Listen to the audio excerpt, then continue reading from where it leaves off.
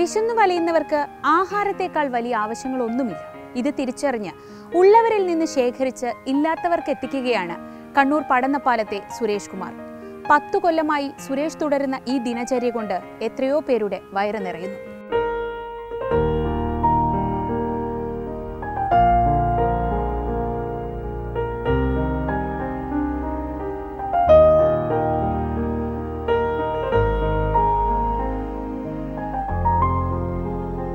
കണ്ണൂർ താലൂക്ക് ഓഫീസിന് മുന്നിൽ ഉച്ചനേരത്ത് വഴിക്കണ്ണുമായുള്ള ഈ നിൽപ്പ് വെറുതെയല്ല. ആദ്യമായി എത്തുന്നവർ ഫുട്പാത്തിൽ വെറുതെ നിൽക്കുന്ന സുരേഷിനെ ശ്രദ്ധിച്ചുവെന്ന് വരില്ല. എന്നാൽ ഒരു പിടി അന്നത്തിന്റെ വിലയറിയുന്നവരുടെ കണ്ണിൽ ഈ കുറിയ മനുഷ്യൻ പെടാതിരിക്കില്ലെന്ന് ഉറപ്പ്. ഉച്ചയ്ക്ക് ഒരു മണി മുതൽ രണ്ടുവരെ താലൂക്ക് ഓഫീസിനു മുന്നിലെ ഫുട്പാത്തിൽ ഈ മനുഷ്യനുണ്ടാകും.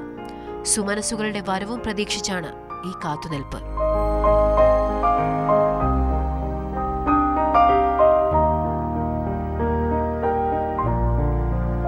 കുറച്ച് സുമനസ്സുകൾ പൊതിച്ചോറുമായി എല്ലാ ദിവസവും സുരേഷിനെ തേടിയെത്തും.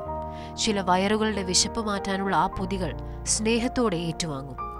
ഒരു മണിക്കൂർ നേരത്തെ കാത്തിരിപ്പിന് ശേഷമേ കയ്യിൽ കിട്ടുന്ന പൊതിച്ചോറുകൾ വിതരണം ചെയ്യാറുള്ളൂ. ഇതിനിടെ സുരേഷിനെ കാത്ത് നിരവധി പേർ നിൽക്കുന്നുണ്ടാകും. റോഡിൽ അലയുന്നവരും അല്ലാത്തവരുമായ നിരവധി പേർ. വിശപ്പിനെ അടുത്തറിയുന്നവർക്ക് മാത്രം ചെയ്യാൻ സാധിക്കുന്നതാണ് സുരേഷ് ചെയ്യുന്ന ഈ പുണ്യകർമ്മം.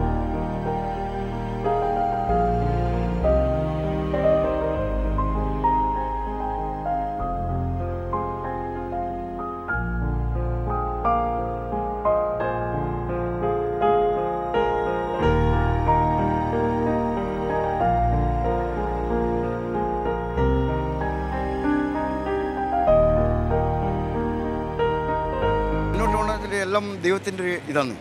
എന്താ വെച്ചാൽ ഞാൻ ഇവിടെ വന്നുകൊണ്ടോ അല്ലെങ്കിൽ ഒരാൾ വന്ന് നിന്നുകൊണ്ടൊന്നും ഭക്ഷണം കിട്ടില്ല ഞാൻ ഞാൻ വിശ്വസിക്കുന്ന ശക്തിയും നിങ്ങൾ വിശ്വസിക്കുന്ന കൊണ്ടുവന്ന ആൾ വിശ്വസിക്കുന്ന ശക്തിയും എല്ലാം ഒന്നാണ്.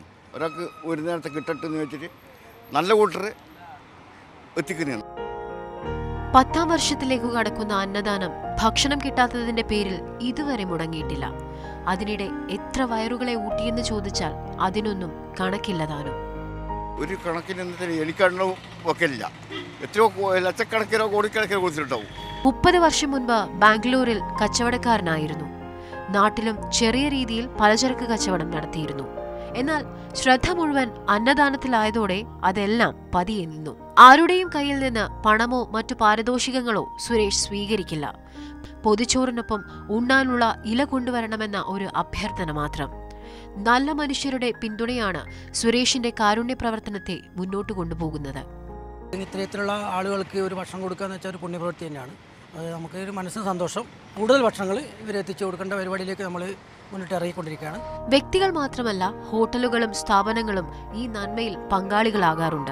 ദിവസവും മൂന്ന് മണിക്കൂറോളം നീളുന്ന സത്കർമ്മത്തിനു ശേഷം ഫുട്പാത്തിൽ കച്ചവടം നടത്തിയാണ് ഭാര്യയും രണ്ടു മക്കളും അടങ്ങുന്ന കുടുംബത്തെ പോറ്റാനുള്ള മാർഗം ഈ നല്ല മനുഷ്യൻ കണ്ടെത്തുന്നത്.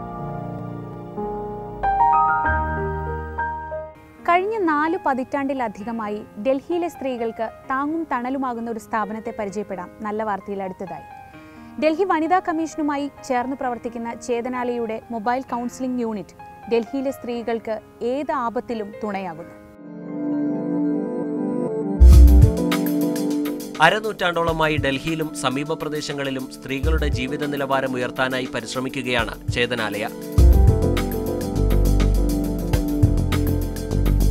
ആപത്തിൽ ആശ്രയമായും ആശങ്കയിൽ കൂട്ടായും അവശതയിൽ താങ്ങായുമെല്ലാം ചേതനാലയുടെ പ്രവർത്തനങ്ങൾ നീളുന്നു. അതിനുള്ള അംഗീകാരമാണ് ഡൽഹി വനിതാ കമ്മീഷൻ അവരുടെ പ്രവർത്തനങ്ങളിൽ ചേതനാലയെ കൂടി സഹകരിപ്പിക്കുന്നത്. നിർഭയ സംഭവത്തിന് ശേഷം വനിതാ കമ്മീഷൻ ആരംഭിച്ച ഇരുപത്തിനാല് മണിക്കൂർ ഹെൽപ്പ് ലൈനോടനുബന്ധിച്ചുള്ള മൊബൈൽ കൗൺസിലിംഗ് കേന്ദ്രത്തിന്റെ പ്രവർത്തനം ചേതനാലയ ഏകോപിപ്പിക്കുന്നു. By looking at the work that we do, at least in 18 uh, resettlement colonies of uh, Delhi and 300 villages of Haryana, the Delhi uh, collaborating with us, finding us a worthy partner to do this work. That's how they approached uh, and whether we could take it up, and we also said yes when the project came our way and we took it up and they have given us two districts uh, central delhi and the two places they have given two vehicles to us with that the uh, work initiated. നൂറ്റി എൺപത്തിയൊന്ന് എന്ന വനിതാ help line നമ്പറിലോ ചേതനാലയയുടെ toll free നമ്പറിലോ വിളിച്ചാൽ ചേതനാലയുടെ counselling യൂണിറ്റിന്റെ സഹായം ലഭിക്കും. ലൈംഗികാതിക്രമങ്ങൾ ഗാർഹിക പീഡനം തൊഴിലിടങ്ങളിലെ പീഡനം അങ്ങനെ സ്ത്രീകളുടെ പരാതികളിൽ വേണ്ട സഹായം എത്തിക്കുകയാണ് ഈ യൂണിറ്റുകളുടെ ലക്ഷ്യം. ദിവസം ഒരു അഞ്ചോ ആറ് കോളുകളാണ് ഇപ്രാവശ്യം നമുക്ക് ലഭിച്ചുകൊണ്ടിരിക്കുന്നത് ആവറേജ് പോയിക്കൊണ്ടിരിക്കുന്നത്. അത് ചിലപ്പോൾ ഡൊമസ്റ്റിക് വയലൻസ് റിലേറ്റഡ് ആയിരിക്കാം മൊളസ്റ്റേഷൻ ആയിരിക്കാം അല്ലെങ്കിൽ അവരെ ഏതെങ്കിലും രീതിയിലുള്ള സ്ത്രീകളെ അപമാനിക്കുന്ന രീതികൾ അങ്ങനെ ഉള്ള രീതിയിൽ അവരെ ഉപദ്രവിക്കുന്നതായിട്ടുള്ള അങ്ങനെ കേസുകളായിരിക്കാം. അവർ നൂ വൺ എയ്റ്റ് വൺ നമ്പറിൽ വിളിച്ചു കഴിഞ്ഞാൽ അത് സെൻട്രലി കോർഡിനേറ്റഡ് നമ്പറാണ് അവിടെ നിന്നും ഞങ്ങളുടെ വാഹനത്തിലേക്ക് ഇൻഫർമേഷൻസ് കിട്ടും. അതനുസരിച്ച് കൗൺസിലർ അവിടെ പോകും. അവർക്ക് സോൾവ് ചെയ്യാവുന്ന കേസാണെങ്കിൽ അവിടെ നിന്ന് സോൾവ് ചെയ്യും. അത് പോലീസിൽ അറിയിക്കേണ്ട കേസ് റേപ്പ് കേസ് അതുപോലെയുള്ള കേസസ് ആണെങ്കിൽ പോലീസിൽ അറിയിക്കും. ഹോസ്പിറ്റലിലേക്കോ പോലീസ് സ്റ്റേഷനിലേക്കോ വിമൻസ് കമ്മീഷനിലേക്കോ റെഫർ ചെയ്യേണ്ട കേസാണ് അങ്ങനെ ചെയ്യും റെഫറൽ ചെയ്യും. ഒരു പ്രൈമറി ലെവൽ പ്രശ്നം സോൾവ് ചെയ്യാനാണ് ഞങ്ങൾ ശ്രമിച്ചുകൊണ്ടിരിക്കുന്നത്. ഒരു കൗൺസിലറും ഡ്രൈവറും അടങ്ങിയതാണ് മൊബൈൽ കൗൺസിലിംഗ് യൂണിറ്റ്. ഇത്തരത്തിലുള്ള രണ്ട് വാഹനങ്ങളാണ് ചേതനാലയ ഒരുക്കിയിരിക്കുന്നത്. പരാതികൾ ഹെൽപ്പ് ലൈൻ മുഖേന ലഭിച്ചു കഴിഞ്ഞാൽ വനിതാ കമ്മീഷന്റെ സഹകരണത്തോടെ ഇവർ സ്ത്രീകളെ സഹായിക്കാനെത്തും.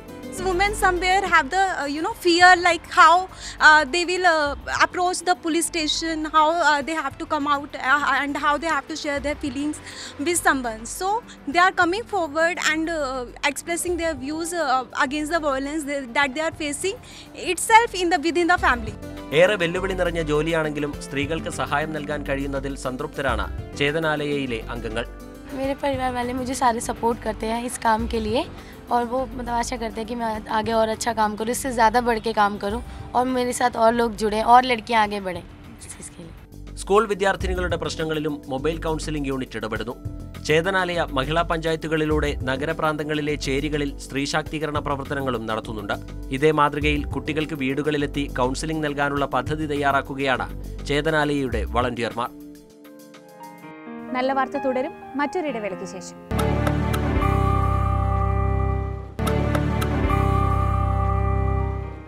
കാലം എത്ര കഴിഞ്ഞാലും നിങ്ങളുടെ പ്രിയപ്പെട്ടവർ ഓർത്തിരിക്കുന്ന ഒരു സമ്മാനം നൽകണമെന്ന് ആഗ്രഹമുണ്ടോ?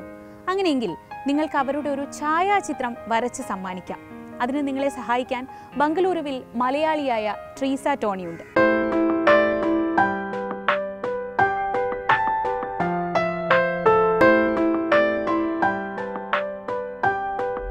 ഇത് ട്രീസ ടോണി. ബംഗളൂരുവിലെ കൊത്തന്നൂരിലെ വീട്ടിൽ നല്ല തിരക്കിലാണ് ട്രീസ. ലോകത്തിന്റെ വിവിധ ഭാഗങ്ങളിൽ നിന്നെത്തിയ ഓൺലൈൻ ഓർഡറുകൾ പൂർത്തീകരിച്ചു നൽകുന്നതിന്റെ തിരക്ക്.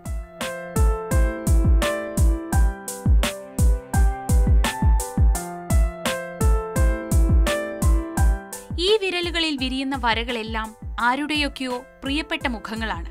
ക്രിസ്മസിനും പുതുവത്സരത്തിനുമായി ഒട്ടേറെ പേരാണ് ഫോട്ടോകളുമായി ട്രീസയെ സമീപിച്ചിരിക്കുന്നത്.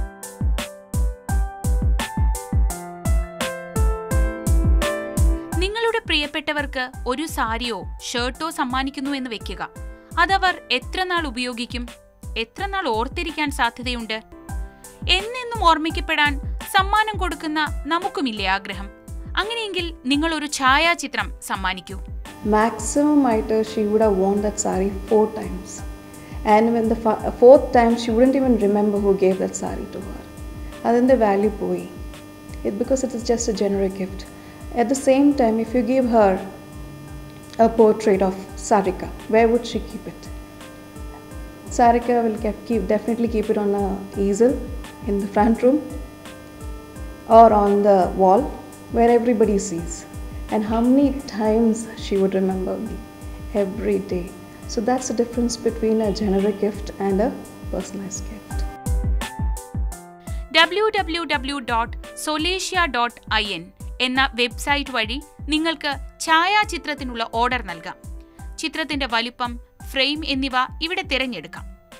ഒൻപത് പൂജ്യം പൂജ്യം എട്ട് മൂന്ന് ഒന്ന് അഞ്ച് മൂന്ന് മൂന്ന് ഏഴ് എന്ന വാട്സപ്പ് നമ്പറിലും പ്രിയപ്പെട്ടവരുടെ ഫോട്ടോകൾ അയക്കാവുന്നതാണ്. എന്റെ വാട്സപ്പിലോട്ട് ഒരു നല്ലൊരു ഫോട്ടോ ഒരു photo if it is click by a professional that would be good for me ഒന്ന് രണ്ട് മൂന്ന് ഷോട്ട്സ് എടുത്തിട്ട് ഒരു ഹെഡ് രണ്ട് മൂന്ന് ഹെഡ് ഷോട്ട്സ് എനിക്ക് അയക്കുകയാണെങ്കിൽ I will say that I will be going ahead with this particular photograph and if you are okay with that I start my work that's all it takes payment you can do it on online you can transfer if it is far away I can always courier the photograph the portrait പ്രശസ്തരുടെ ജന്മദിനത്തിനും മറ്റും സമ്മാനിക്കാൻ ആരാധകരും അനുഭാവികളും ഛായാചിത്രങ്ങൾക്കായി ട്രീസയെ സമീപിക്കാറുണ്ട്.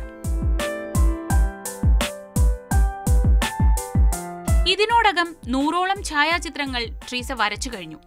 പത്ത് വർഷത്തോളം genetic പ്രൊഫസറായി ജോലി ചെയ്തയാളാണ് ട്രീസ. ഒരു സുഹൃത്തിന്റെ പ്രചോദനമാണ് ഉള്ളിൽ ഉറങ്ങിക്കിടന്ന ചിത്രകാരിയെ പുറത്തു കൊണ്ടുവന്നത്. സമൂഹത്തിലും വാർത്തയിലുമെല്ലാം കുറ്റകൃത്യങ്ങളും അഴിമതിയും ഒക്കെ നിറയുന്ന കാലത്ത് നല്ല വാർത്ത നൽകുന്ന ആശ്വാസം ചില്ലറയല്ല. അത് നാളെയെക്കുറിച്ച് ഒരുപാട് പ്രതീക്ഷകൾ നൽകുന്നു. അത്തരം വാർത്തകളും കാഴ്ചകളുമായി വീണ്ടും അടുത്ത ആഴ്ച കാണാം. അതുവരെ നിങ്ങൾക്ക് ചുറ്റുമുള്ള നല്ല കാര്യങ്ങൾ നിങ്ങൾ എഴുതി അറിയിക്കുക. നല്ല വാർത്ത at M B news dot I N എന്ന വിലാസത്തിൽ. വീണ്ടും കാണാം.